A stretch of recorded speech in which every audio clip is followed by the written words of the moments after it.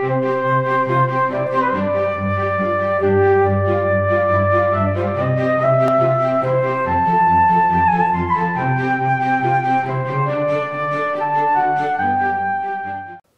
Yorkshire is the economic hub of the region.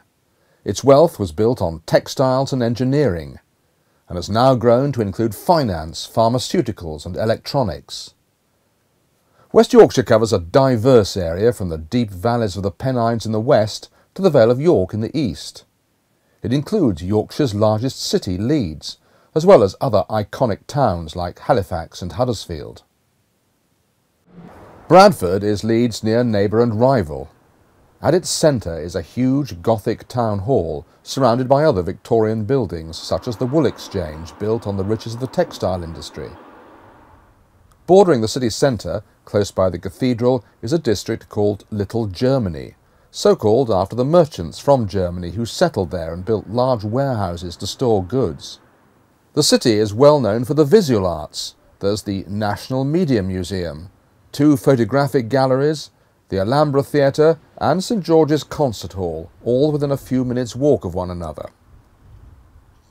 Bradford has also been crowned the curry capital of Britain.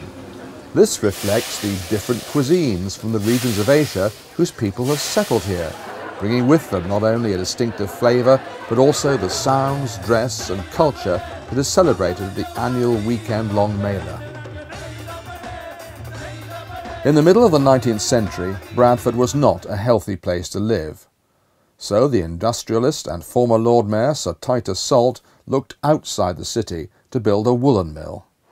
He chose a site next to the River Aire, the Leeds-Liverpool Canal and the railway line to build his new town, which he called Saltaire.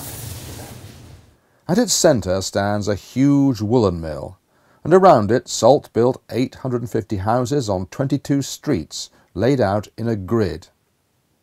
He also provided everything the inhabitants could need from birth to grave. A hospital, school, almshouses, as well as a lecture hall, a church and a park. It's well worth wandering round the village.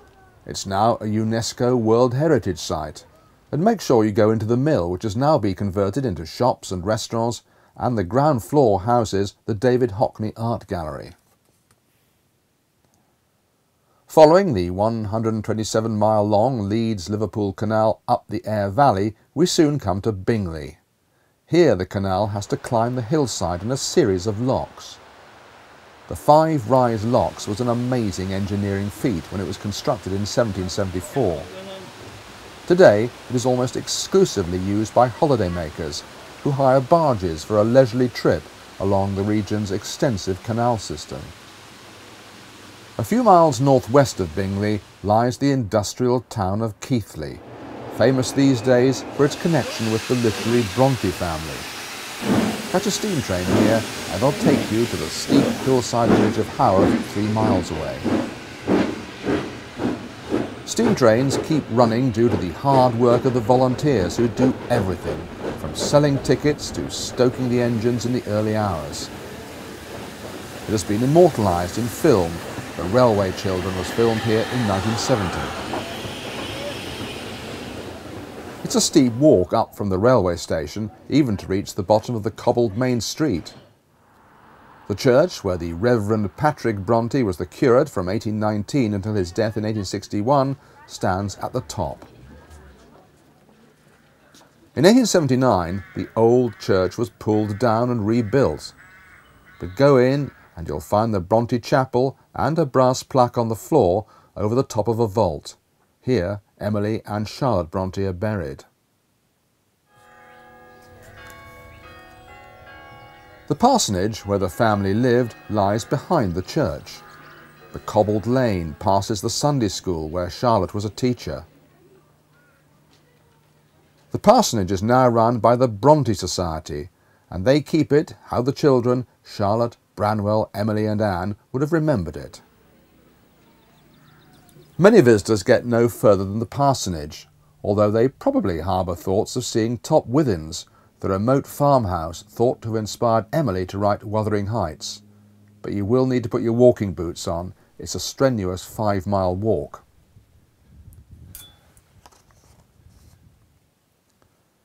Top Withens is a bleak place, set high on the moor, whatever the season.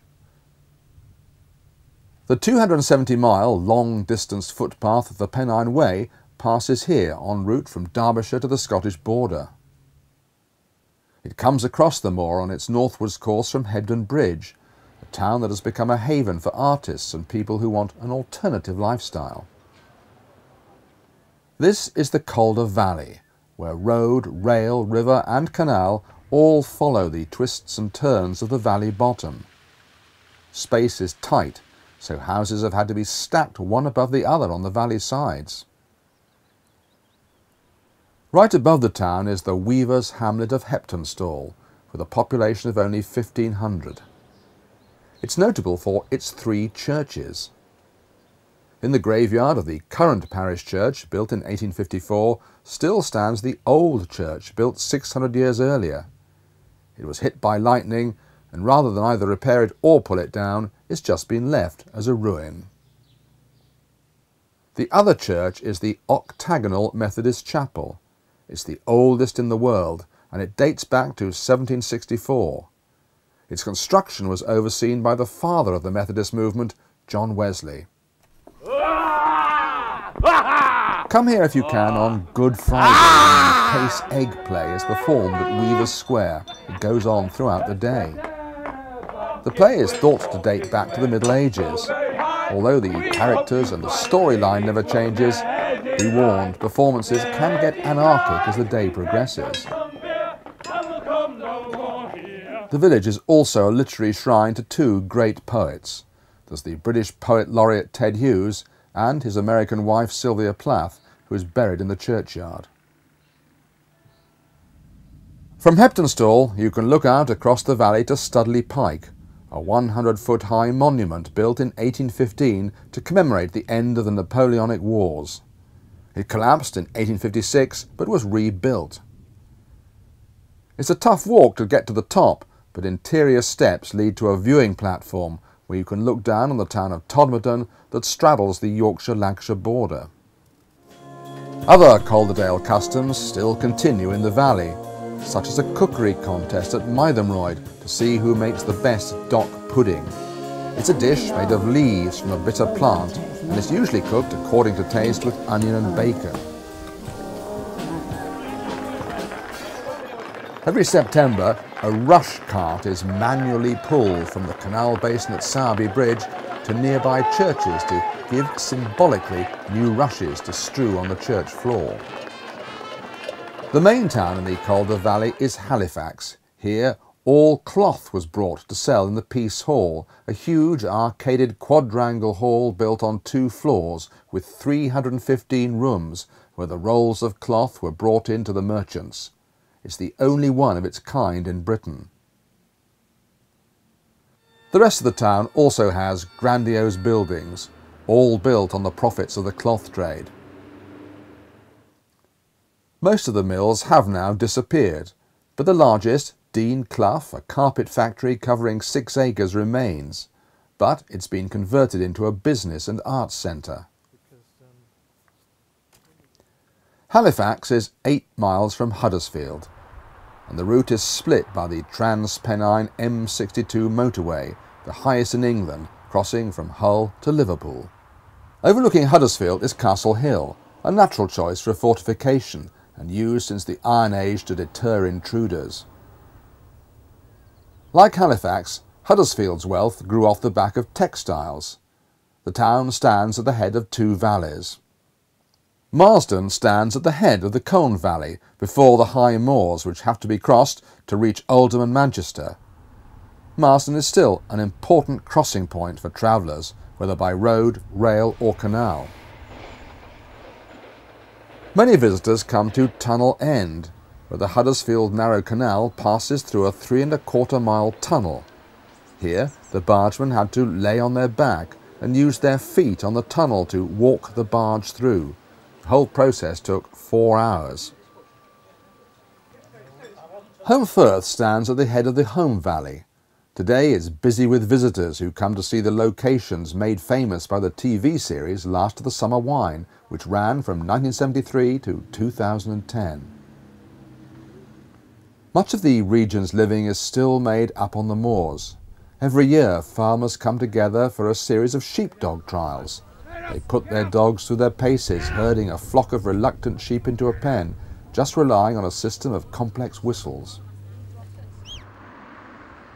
Wakefield was once the administrative centre for the West Riding, and therefore it has many fine buildings associated with the County Council and the administration of justice. It's an ancient city. At its heart stands the cathedral with its 247 foot high spire, now surrounded by a modern shopping centre. Down on the bridge across the River Calder stands a medieval chantry chapel, one of only four left in the country. Another of them is in Yorkshire too, at Rotherham. The bridge over the river was once the main road to the south leading out of the town, and people would stop here to pray for a safe journey. The main road to the south now is the M1 to London, and it's along this artery that lorries now carry Wakefield's most famous export, rhubarb. The soils and climate around here make it an ideal crop to grow. In the winter it's grown in forcing sheds, where only the light from candles and controlled heat makes the rhubarb grow, giving the tender stalks a pinkish hue and a wonderful sweet flavour. But Wakefield has other claims to fame apart from rhubarb. It's also home to two sculpture galleries. The Hepworth celebrates the sculptor Barbara Hepworth, who was born in the city. And the other, the open-air Yorkshire Sculpture Park, includes work by Henry Moore, who was born at Castleford, not far away. The park covers 150 acres and it's dotted with sculptures, with the season and the light giving them a different aspect on every visit. Finally, we come to what was once the most important town in Yorkshire after York, Pontefract. The whole of Yorkshire was virtually controlled from the huge royal castle that stood here. Today, though, there are only scant ruins as it was almost completely destroyed during the English Civil War in the 1640s. The town's later wealth was built on coal and, believe it or not, licorice. Today, licorice is commercially grown in the warm climate of the Middle East, but the depth of the soil around here made it the only place in Britain where it could be grown and it was grown from the 12th century up until the 1930s. It was used in medicines, and later it was found that if you boiled the root with sugar, it made a very nice chewy sweet. The smell of licorice still hangs over the town, as two sweet manufacturers still make the distinctive pomfret cakes.